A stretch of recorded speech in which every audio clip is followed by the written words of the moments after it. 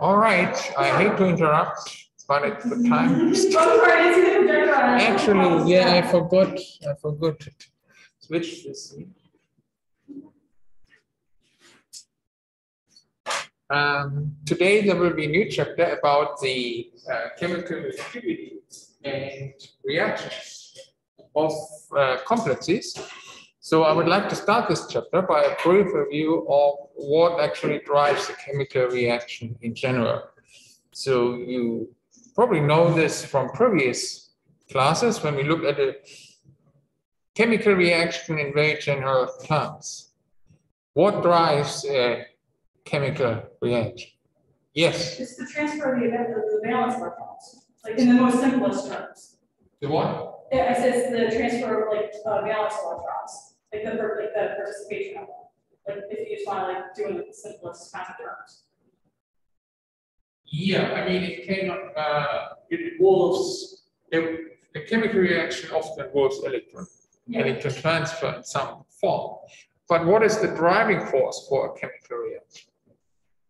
What makes a chemical reaction actually happen? Well, what would be like the energy? Like the, you know, basis, it's like, you know, spontaneous or like not spontaneous, like the, you know, if it's gonna like happen, you know, if you have like, you know, your double, your double G, double dagger. Um, if it's spon- uh, spontaneous, not spontaneous, if you're looking at it from an energetic standpoint. Yeah, so there must be thermodynamic driving force for the chemical reaction to happen. So correct. Um, so that's the first uh, parameter to consider. So the thermodynamics and uh, reaction is thermodynamically favorable when delta G is, is negative. Okay? When delta G is, is, is zero, then nothing happens, and when delta, G is positive, then the reverse reaction is actually favorable. Okay, um, but there's a second um, parameter to consider. So a chemical reaction can be thermodynamically favorable, but nonetheless it can be that in practice you do not observe any reaction. So what can be the reason for that? Can you repeat the question one more time? Sorry? Can you repeat the question one more time? The question is, when we have a thermodynamic force for reaction, but nonetheless do not observe a reaction, what can be the reason for this? Well, the activation energy have too high. Correct. So when you have a very high activation energy to overcome, then the kinetics of the reaction can be very slow. And in fact, it can be so slow that we in practice do not observe the reaction. Okay. So basically, whether a reaction or not can be observed or not um, depends on the thermodynamics, but it also depends on the kinet kinetics. Okay. So now the thermodynamics is associated with the relative stability of the reactants. And the products, when the products are more stable, delta G is, is, is, negative and the reaction will be, will be observed. Um, so the rate of the reaction is associated with the um, activation um, energy and with the inertness and the lability of the complex. So when the complex is, is inert, then we have to overcome a very high activation energy. And when the complex is labile, then we have to overcome um, a, a very low activation energy in order to make the dative bonds. Dative bonds cleave and make the reaction um, happen. All right. Um, so generally, when we have a labile complex, then we have fast ligand exchange because the bonds can be broken easily, but that can, of course, happen uh, reversibly. And when that bond breakage happens reversibly, then that means that we have a very fast ligand exchange. Um, when we have an inert complex, then that means the opposite, and that means that we have a slow ligand exchange. Now, what does what does fast and slow mean quantitatively? Can we actually draw some kind of border in between the two cases? And the answer is yes, we can. Um, so we draw the uh, borderline approximately at a half-life time for the bond to be um, approximately 30 seconds. So when a metal ligand bond has a half-life time of smaller than 30 seconds, we say that the activation energy that needs to be overcome to make that bond breakage happen um, is, is low, and we say that we have a labile complex. An example for this is, for instance, um, the um, bond between iron and sulfur in the well, penta aqua NATO iron 2 plus. Okay. Um, because the ability of the iron sulfur bond, we can um, exchange the ligand very fast okay, by, for instance, a, a fluoride um, ligand. So the uh, metal ligand bond in this case has a half-life time of approximately one second, or smaller than one second even, and therefore the reaction happens very fast. The ligand substitution reaction happens very fast. Okay, therefore also the chemical equilibrium will be reached very fast. Okay, now um, when we have a half-life time of larger than 30 seconds, then we say that's associated with a high activation energy. An example for this is the substitution of um, the amine ligand in the hexaamine cobalt 3 plus by water ligands, uh, aqua ligands in, in acid. So there is a thermodynamic driving force for that, but nonetheless, the hydrolysis reaction occurs only very slowly, and that's because the inertness of the cobalt nitrogen bond in this complex, which is which is a half-life time of larger than one day. So in this case, the chemical equilibrium will be reached only slowly. Okay, so now can we rationalize somehow um, which complexes are inert and which ones are labile? Can we predict this from the property of a, a metal and the property of a of a ligand? And the answer is that there are some guidelines, some rules for that. So when we look at uh, D block metal ions, then the electron configuration um, gives us an idea whether we would expect a labile or not complex.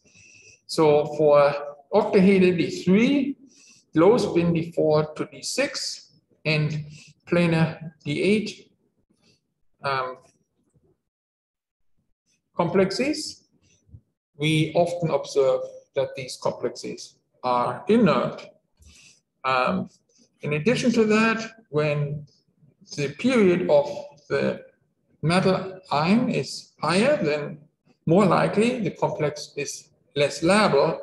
And thirdly, the higher the positive charge of the metal ion, the less labile the bonds. You can explain the latter two trends but when you consider that um, when we have a metal ion of a higher period, then that's a softer ion, and you know that when the ion is softer, it more likely makes a bond which is a more covalent character, and more covalent bonds tend to be more inert. And the same is actually the case when the positive charge of the metal ion is, is higher.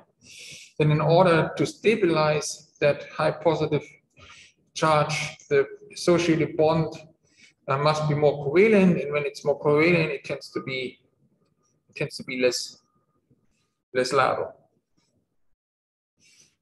Okay, um, so what about metal ions which are not d block metal ions?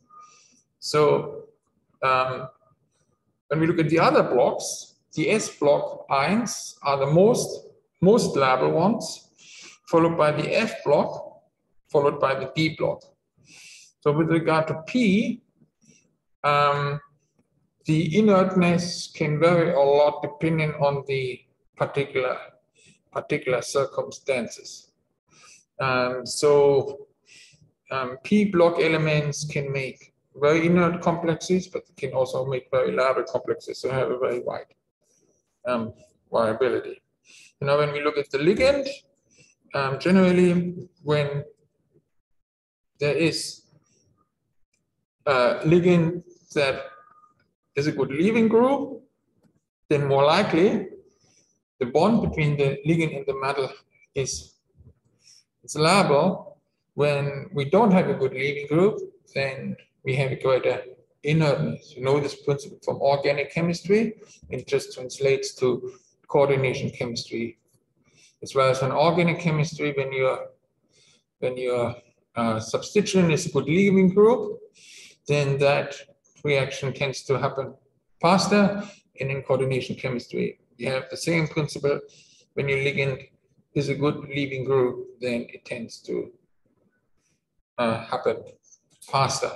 So good leaving groups are usually groups that produce molecules or ions which are stable.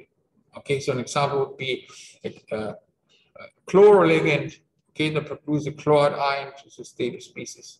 Whereas when you have, for instance, a methyl group as a ligand, if you cleave the uh, metal ligand bond, it would produce either a methyl radical or uh, a CH3 minus anion, which would not be uh, so stable as an isolated species. Okay, now let us go from the um, kinetics the thermodynamics. What determines the st stability of complex? And a lot of that can be derived from a uh, concept that we looked at previously, and that's the hard and soft acid and base uh, base concept. Um, before we go to that, however, um, something more general. Um, so the delta G is certainly related to the um, equilibrium constant. So we have when we have a negative delta G, we have a large equilibrium constant, which says that our products lie actually on the right side. And there's of course a relationship between delta G and K, which is given by this equation here, which says that delta G is equal to minus RT times ln K. You probably remember uh, that equation from your first year and your physical chemistry. Physical chemistry classes. So when you have a reaction which forms a metal ligand bond, M plus L gives Ml, and there's a uh, negative delta G, then the equilibrium constant is being given by this equation here, the concentration of the product over the product of the, of the concentrations of the reactants to the to the correct powers. So when um, in chemical equilibrium delta G is equal to zero, well, our concentration of, well, ML is large and the concentration of M and L is small, and that means that the equilibrium lies far on the right side.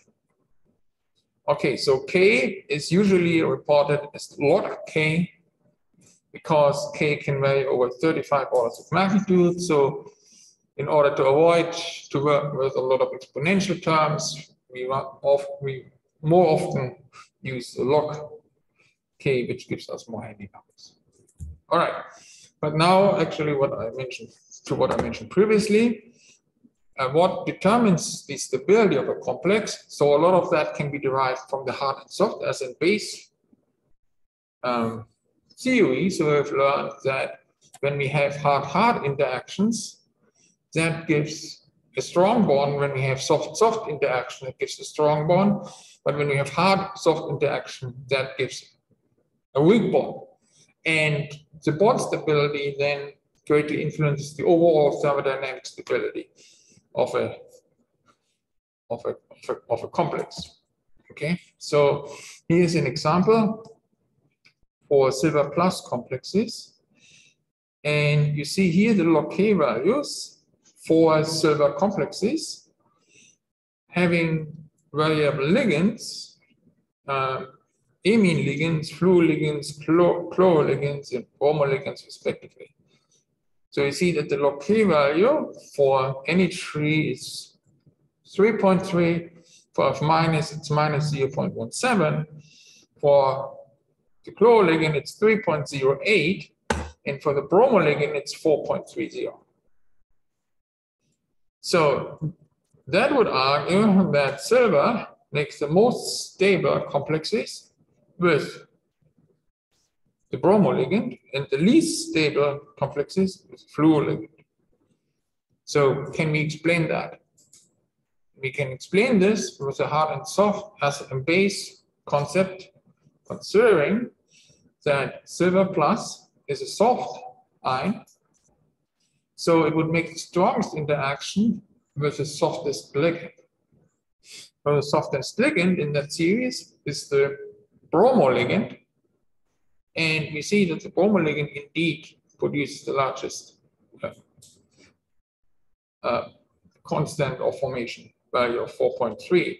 So the hardest ligand in that series would be the fluoro ligand with a value of uh, minus 0.17. Um, and that confirms that the hardened ligand produces the, the weakest complex, the smallest con, uh, uh, constant constant of formation. So see here just by this example that very qualitative considerations can fairly accurately predict the stability of complexes. All right, so silver plus is soft, bromide is the softest one, so therefore the greatest stability. Uh, the fluoride is the hardest one, therefore the smallest stability. Okay, uh, now let us move from complexes that only have a single ligand to multi-ligand complexes. How do the constants of formation actually change as the metal picks up more ligands? So let us, for instance, consider a complex that has four ligands. So in the first step, our metal ion would pick up the first ligand to produce a complex Ml. So that would be associated with a constant formation, which would be given by the equation, well, Ml over M times R, so the concentration of Ml over the concentration of M times the concentration of L. Okay, now this species here could pick up another ligand to make a species ML2. So that would be another reaction associated with an equilibrium constant. And that equilibrium constant would be given by the concentration of ML2 over the concentration of ML times L. So now this species here could pick up the next ligand to make a species ML3. And its equilibrium constant would then be determined by the concentration of ML3 over the concentration of ML2 times the concentration of L. Last but not least, this species, ML3, could pick up the fourth ligand to make a species ML4. And that one would then be associated with another equilibrium constant, which would be given by the concentration of ML4 over the concentration of ML3 times L. All right. So now um, we could ask, well, which of these equilibrium constants would be the greatest and which one would be the smallest? What would be the relative values of K1 to K2, to K3, to K4? Would there be a general trend? And the answer is yes, there is one. So the K values decline from K1 to K2 to K3 to K4. So now we can think about, well, what could be an explanation for this? Can you maybe think about an explanation?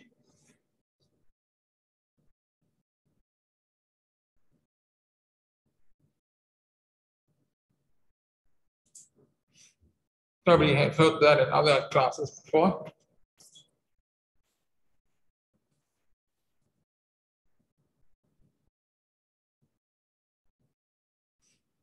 Virtual students are also invited to make suggestions.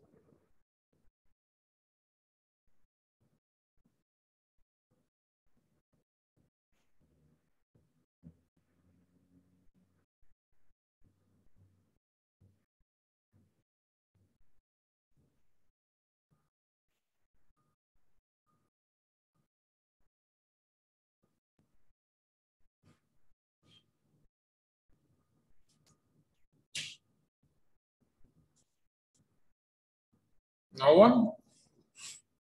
Well, the answer is it's a statistical effect. So as the metal picks up ligands, the number of the free ligands in solution declines. Okay? And as that concentration declines, the probability that the complex can pick up another ligand declines. Okay? So for that reason, um, the value of the equilibrium constants decline. Okay. So for general complex MLN, then exactly the same uh, principle holds. K1 is larger than K2, is larger than K3, is larger than Kn. All right. So this can be explained statistically. So the number of available free ligands decreases with a number n. And therefore the probability that another metal ligand bond forms declines. All right. So the overall stability constant is always given by the product of the individual constants. So K overall is equal to K1 to times K2 times K3 times K4, or for general complex MLN, the overall equilibrium constant is given by K1 times K2 uh, times K3 times Kn. Okay, however, these um, considerations are only a rule. There are exceptions to that rule, and whenever we find an exception to that rule, then that means that there's a major change in the electronic structure of the complex. Okay, so here is um, one example. So, for instance, we can start out with an hexa aqua iron plus complex and substitute two of the aqua ligands by a bipyridyl ligand. Okay, then the bipyridyl ligand replaces two of the aqua ligands, and we have two free water molecules on the right hand side of the equation. So now there's an equilibrium constant associated with this, and the log Kf value in this case is 4.2. So then we can substitute another two uh, aqua ligands by another bipyridyl ligand. Now our product complex has two aqua ligands and two bipyridyl ligands, and we have produced another two water molecules. Okay? So now, according to what we have learned, the log Kf value of this reaction should be smaller than the previous log Kf value. And we find that this is indeed the case. This second one is only 3.7 in comparison to the first one, which was 4.2. So now we can also substitute the last two water molecules by a third bipyridyl. And we form now a, a tris bipyridyl iron 2 plus, create another two water molecules. And according to what we have learned, now the log K value should be even smaller. It should be smaller than 3.7. However, this is not what we observe. We observe an, an astonishingly large log K value of 9.3. And that indicates that upon the substitution of the last pair of aqua ligands, there must have been a major change in the electronic structure. So now in this case, this is the switch from a high spin complex uh, to a low spin complex. Okay, so the bipyridyl ligands produce a, a larger delta O. Okay, so the delta O increases as we add the first bipyridyl ligand, increases further as we add the second one, but only if we add the third one, our delta O is large enough so that our complex switches from high spin to low spin. Okay, and now we have a significantly different electronic structure, which can be associated with uh, unusually high equilibrium constant. Okay. All right, so here's just a second example. So here we have a hexa aqua mercury to plus, and we can again substitute the aqua ligands by chloro ligands. So we can do a first substitution. Then we have five aqua ligands left and have now one chloro ligand attached to the mercury, producing one aqua ligand here, and that reaction is associated with a log K value of 6.74. So now we can substitute a second aqua ligand. So then we have four aqua ligands left and have two chloro ligands in our product. So that is associated now with a log K value of 6.48. And that's in accordance with expectations. So the second log K value is smaller than the first log K value. So now, as we substitute uh, another uh, water molecule by another chloroligand, we have a change of, of coordination number. Okay, so as we add another chloroligand, our complex changes from the coordination number six to the coordination number four. You see that in the product complex, now we have only one aqua ligand and three chloro ligands. So this reaction has a log K value of 0.85. So this is, as we would expect, smaller than the log KF2 value. However, it's much smaller. It's actually so much smaller um, so that it cannot be explained anymore by statistical effects. Again, the change in electronic structure sees explanation. In this case, the change from the coordination number six to the coordination number four is the explanation. All right. So now let's go to the stability of uh, so-called chelate complexes. So chelate complexes have an unusually high stability. Um, and that can be explained by thermodynamic factors as well as kinetic factors. So look, let's look first at the thermodynamic uh, factors, also called the thermodynamic chelate effect. The thermodynamic chelate effect is an entropy effect. Okay. Um, so we have an increase in entropy when two or more monodentate ligands are replaced by chelating ligands. So for instance, um, here we have a hexaamine nickel 2 plus, and we can substitute all the amine ligands by ethylene diamine ligands. So that produces us six amine ligands. So now we can compare the number of species on the left side of the equation and the right side of the equation. And we see on the left side of the equation, we have four, and on the right side of the equation, we have seven. So the more species that we have, the higher the well, entropy, because there are more possibility how to arrange the well, species within the system. So in this case, our entropy increase is plus 88 joules per Kelvin and more. Okay?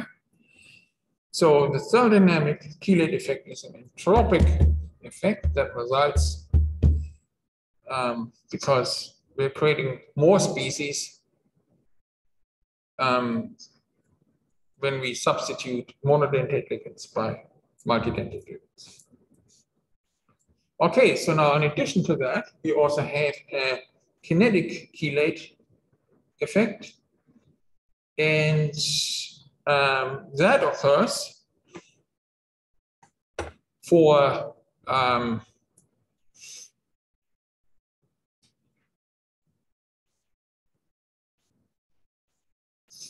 for, for two reasons. So the first reason is that the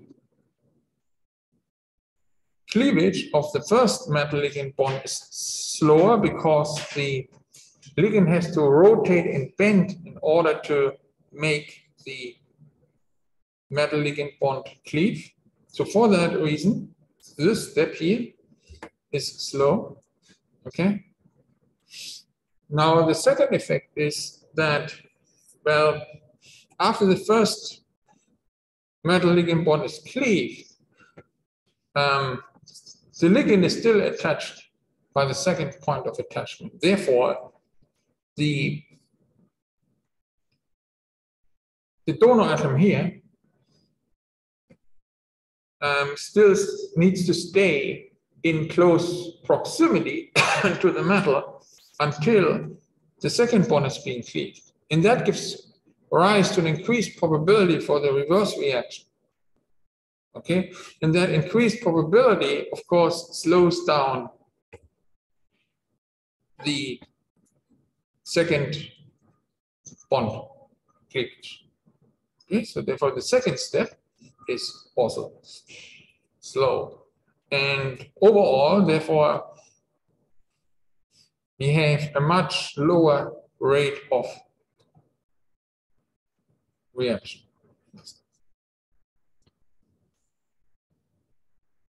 Okay. Um, now let us have a closer look at the mechanism. We have now discussed the inertness and the kinetics and the uh, thermodynamic stability. Now let us more closely look at what mechanisms, according to which mechanisms a ligand substitution reaction can occur. Okay, so there's a mechanism which is called the intimate mechanism. And there's a mechanism which is called the stoi stoichiometric mechanism. So what is the difference between these two? So the intermediate intimate mechanism goes through a transition state as we substitute one ligand by another. Okay, but in a stoichiometric mechanism, we have an intermediate. Okay, that means that we go through a local thermodynamic minimum on the reaction coordinate. Okay, so now um, these reactions occur according to the principle of microscopic reversibility. That just means that the reverse reaction follows the same reaction path than the forward reaction. All right, so the free energy of the reaction is just being being given by the energy difference, free energy difference between the products and the reactants. Okay, whereas the activation energy is the, the energy difference between the uh, reactants and the transition state for the intimate mechanism and the well energy difference between the reactants and the energy maximum which is also kind of an, a transition state in between the reactants and the local intermediate. Okay.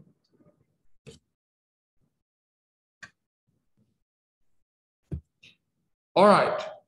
Um, let us look closer at this stoichiometric mechanism. There are two ways this stoichiometric mechanism can be realized. Um, can be realized either as a so-called dissociative mechanism, um, labeled D, or a so-called associative mechanism, um, A. Okay? When we have a dissociative mechanism, then our intermediate here on the reaction coordinate has a lower coordination number. When we have an associative mechanism, then our intermediate has a higher coordination. That means that in the associative mechanism, we first add a ligand to the reactant to make a species with a higher coordination number. And then in the second step, the old ligand is being lost. Okay, we're finally going to the product. Yes, in, in the dissociative mechanism, first a metal ligand bond cleaves, producing a species with a lower coordination number, and then the second step, the new ligand comes in and forms a new metal ligand bond. Okay, so now, however, we talk only about a dissociative mechanism and an associative mechanism, when the respective intermediates can actually be detected by an experimental technique. So this is not always, always the, always the case because these um, local minima can be very shallow. And then the concentration of the intermediate is so small so that it cannot be detected with an uh, experimental technique. In this case, we then talk about a so-called interchange mechanism I, and depending on whether it's associative, we call it I subscript A, or dissociate uh, or dissociative interchange I subscript D. Okay, so overall, we can have everything from A to IA to intimate to ID to D. And that's basically all the possibilities that there are.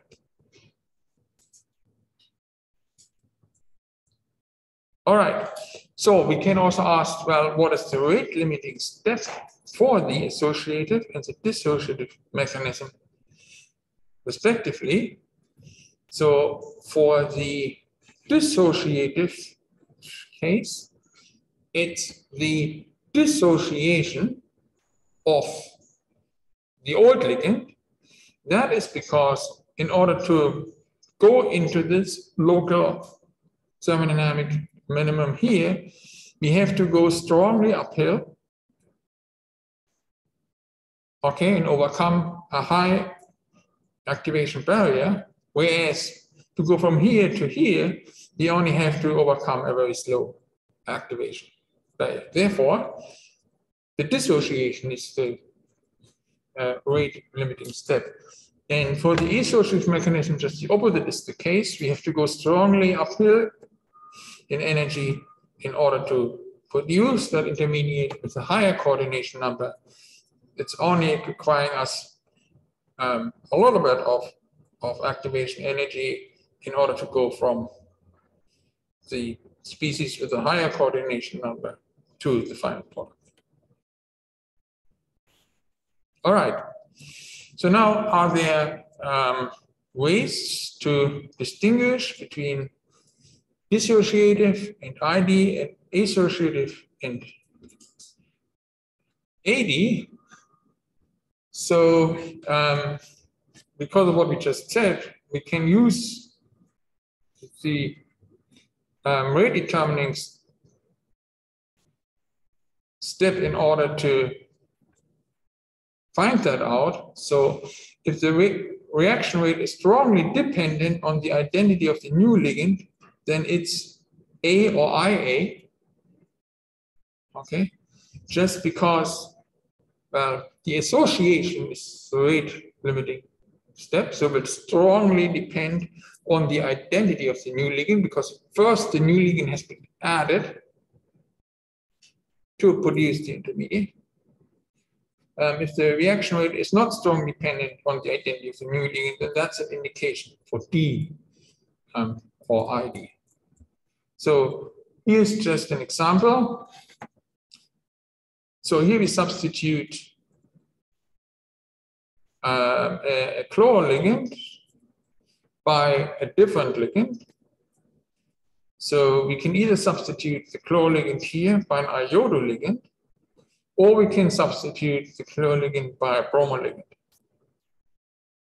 Okay, so we find that the rate changes by a factor of 100 as we uh, change, change the ligand.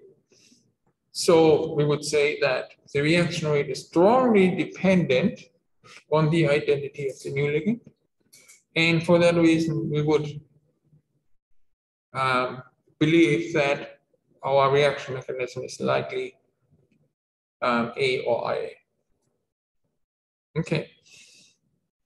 So um, the other factors that can determine whether we have either D or the A, the generally high coordination numbers and large steric crowding, they favor dissociative mechanism.